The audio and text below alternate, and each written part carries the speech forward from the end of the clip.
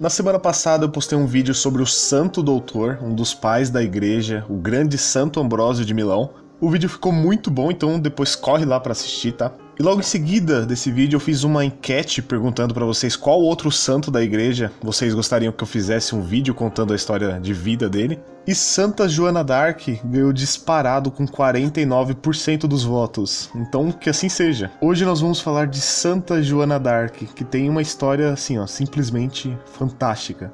Eu acredito que vocês, pelo menos uma vez na vida, já ouviram falar de Joana d'Arc, uma heroína do povo francês que foi queimada na fogueira e tal. Isso todo mundo já sabe, mas poucos realmente conhecem a fundo a história que tornou essa heroína tão falada na nossa história. Então eu trouxe aqui um conteúdo resumido da vida dela. Sim, é um resumo, porque mesmo que Santa Joana d'Arc tenha vivido apenas 19 aninhos, ela fez muitas coisas, ela viveu num contexto histórico muito complexo. Então vamos resumir, bora. Joana d'Arc nasceu em 1412 em Domremy, na França, era filha de camponeses e passou toda a sua infância e adolescência aí mesmo no pequeno vilarejo de Dom Remy, fazendo o que toda garota europeia pobre fazia na época, ou seja, ela se ocupava de ajudar nos trabalhos domésticos e de vez em quando ela ajudava seu pai com o pastoreio do rebanho de ovelhas. Era genuinamente uma vida bem pacata. Só que pacato, com certeza, não era o contexto da França na época de Joana d'Arc. É preciso a gente entender aqui o contexto histórico, tá? A França, onde Joana d'Arc nasceu, estava vivenciando o auge da famosa Guerra dos 100 Anos contra a Inglaterra. França versus Inglaterra, pensa.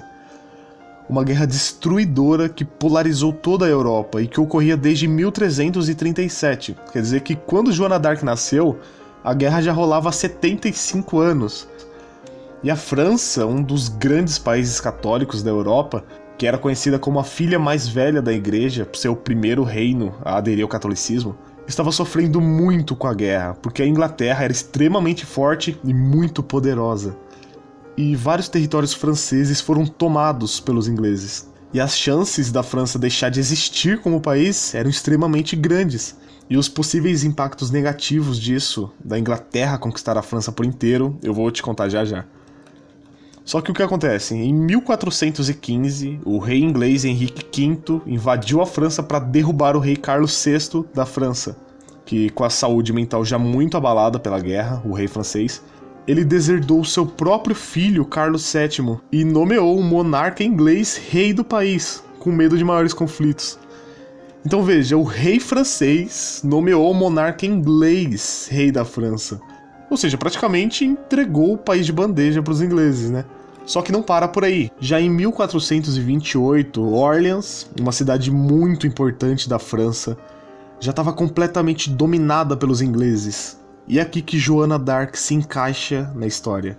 Com 13 anos de idade, uma jovenzinha ainda, Joana d'Arc começa a escutar vozes que ela identificou como sendo de São Miguel Arcanjo, de Santa Catarina de Alexandria e Santa Margarida de Antioquia, que diziam a ela para que ela socorresse a França, que ela não deixasse com que a França caísse nas mãos da Inglaterra.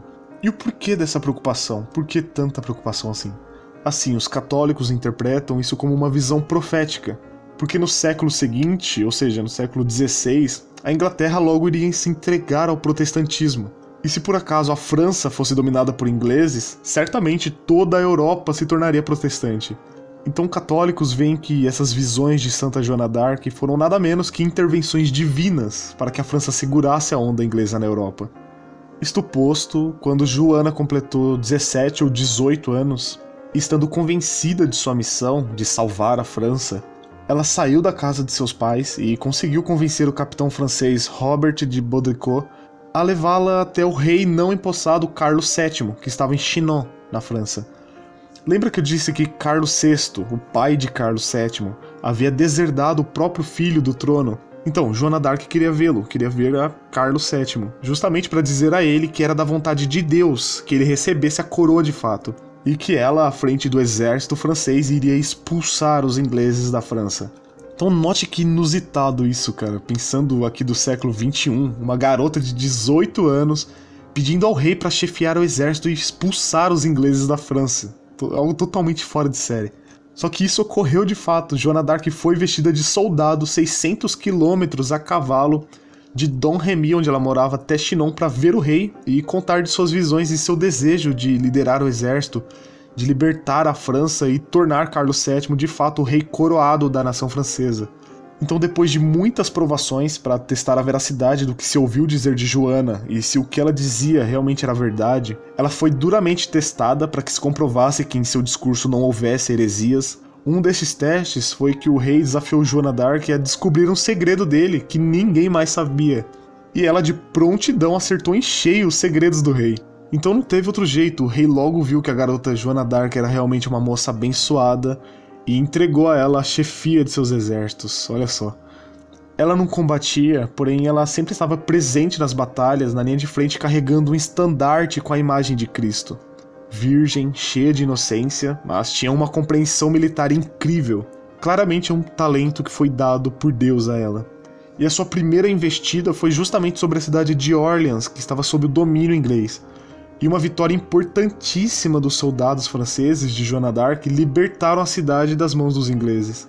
Depois de grandes vitórias de Joana d'Arc e reconquistas de territórios perdidos para a Inglaterra, a França praticamente renasceu das cinzas sob o comando militar da Santa. Joana d'Arc assim deu um ultimato sobre os ingleses que se eles não deixassem a França em paz e voltassem para seu país, que ela moveria um ataque tão poderoso que jamais se apagaria da memória deles Claramente, eu acho que os ingleses devem ter zombado de tal intimação, já que Santa Joana era apenas uma moça, e já que grandes líderes franceses experientes não haviam conseguido libertar a França, por que uma garotinha de 18 anos conseguiria, né? Lê do engano, meus amigos, lê do engano. Joana d'Arc até que chegou a levar uma flechada em uma batalha certa vez, porém, após rezar por 10 minutos, ela logo apanhou de volta seu estandarte e partiu furiosa para cima dos ingleses, Após isso, segundo o relato de Regiane Pernod, que foi a maior especialista na vida de Joana d'Arc, em seu livro Joana d'Arc, A Mulher Forte, ela diz o seguinte: Voltando, ou seja, Joana d'Arc, depois de levar uma flechada acima do seio, ela apanhou depressa seu estandarte e colocou-se sobre a borda do fosso. Quando a viram, os ingleses tremeram e ficaram aterrorizados, e os soldados do rei tomaram coragem e começaram a subir, atacando o baluarte sem encontrar a menor resistência. Então, olha só que fantástico. Se isso não é a mão de Deus agindo na história, sinceramente eu não sei mais o que é, viu? Pois bem, em maio de 1429, os ingleses levantaram o cerco de Orleans, mas foram vencidos em seu maior ponto de combate. Outras batalhas decisivas foram vencidas pelos franceses em Jargeau e Patay de maneira também muito inesperada. Grandes conquistas decisivas foram feitas por Santa Joana que mudaram o rumo da guerra, Daí então, pouco a pouco, os ingleses foram se retirando da França, graças às vitórias conquistadas pelo exército francês sob o comando de Joana d'Arc. Então lembra da promessa de Joana d'Arc ao rei Carlos VII de que ela faria ele verdadeiramente rei da França? Pois bem, ela levou o rei a Reims, local da coroação de todos os reis franceses, e aí Carlos VII foi sagrado rei, enfim, com a presença de Joana d'Arc na cerimônia. E ao lado do monarca, Joana disse exatamente o seguinte: Gentil, agora está feito o prazer de Deus. Só que nem tudo na vida são flores. Carlos VII, que não era nenhum santo nessa história toda, ele se tornou um completo ingrato e abandonou Santa Joana d'Arc. Até pediu que ela reconquistasse Paris, e ela, por amor ao seu povo e com um forte desejo de libertação da França, continuou suas batalhas, só que em 23 de maio de 1430, aos 18 anos, Joana d'Arc foi presa pelos borgonheses, franceses que eram favoráveis ao domínio inglês na França, e foi vendida por 10 mil francos ouro, a moeda francesa da época. Ela foi levada a Rouen, onde seria julgada e condenada como bruxa e herege. Mas qual o sentido de condená-la como bruxa e herege? Justamente porque ela estava libertando a França, uma França católica da Inglaterra. Então, se se caracterizasse que ela fosse uma bruxa, uma feiticeira, pegaria muito mal pro rei da França. Porque como você se utiliza de uma mulher que é do diabo, conforme pensavam, para libertar seu país, entendeu? Então vejam só que covardia. Fizeram toda uma trama encabeçada pelo bispo corrupto chamado Pierre Cochon, que nem sequer tinha jurisdição sobre Joana d'Arc, ou seja, ele não poderia abrir um processo de inquisição sobre ela, mas abriu, e num processo totalmente fraudulento, onde Pierre convocou um tribunal com 113 juízes, intimidados, e fez com que eles declarassem que Joana d'Arc era bruxa e feiticeira. uma injustiça covarde contra uma santa moça. Joana ainda foi ameaçada com tortura a se declarar bruxa e herética, a qual ela disse o seguinte: Mesmo se me arrancassem os membros e me separasseis a alma do corpo, eu nada vos diria, e se eu vos dissesse alguma coisa, depois eu diria que vós me forçastes a fazê-lo. Então veja que coragem, cara. Era realmente uma guerreira.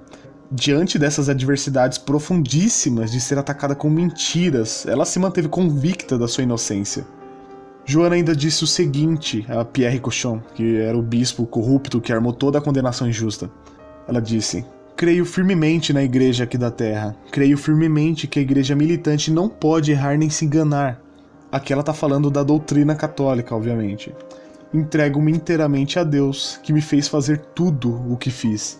Joana d'Arc foi condenada à morte na fogueira como bruxa, como herege, como feiticeira, foi excomungada e, diante do falso tribunal da Inquisição, ela foi queimada na cidade de Rouen, na França. E segundo narram todos os historiadores, quando ela estava para ser queimada, ela segurava um crucifixo. Então veja que fé inabalável. Ela foi amarrada num poste, conforme se fazia a execução de bruxas na época, e segurando seu crucifixo, seu corpo ia se consumindo pelas chamas da fogueira. E antes de morrer, ela ainda gritou por seis vezes, chamando por Jesus. Ou seja, morreu aos 19 anos clamando pelo nosso Salvador. Fantástico, cara. Extraordinária a história de Santa Joana d'Arc, padroeira da França. Poucos anos após a sua morte na fogueira, em 1455, o Papa Calixto III autorizou a revisão de todo o processo inquisitório. No ano seguinte, em 1456, declarou nulidade total do processo de 25 anos atrás, e Santa Joana d'Arc, assim, foi inocentada, agora num processo legítimo. Em 1909 foi beatificada pelo Papa São Pio X e no ano 1920 foi canonizada pelo Papa Bento XV. Como vocês sabem, o processo de beatificação e canonização sempre demoram bastante para acontecer, mas no caso de Joana d'Arc foi porque existiam ainda muitas polêmicas que rondavam a sua vida, mas ao dissecarem toda a história dela, claramente se percebeu que realmente Joana d'Arc era uma moça ungida por Deus e seus feitos militares tempos depois foram reconhecidos como de extrema importância na vitória francesa sobre os ingleses na Guerra dos Cem Anos, o que manteve a França e a Europa fervorosamente católica por ainda muitos e muitos anos. No mais, eu espero que você tenha gostado desse vídeo aqui. Dê aí a sua sugestão de tema, porque isso é fundamental na reformulação que eu estou pretendendo fazer aqui no canal. Eu vou ficando por aqui, um grande abraço, fica com Deus e até o próximo vídeo. Eu fui.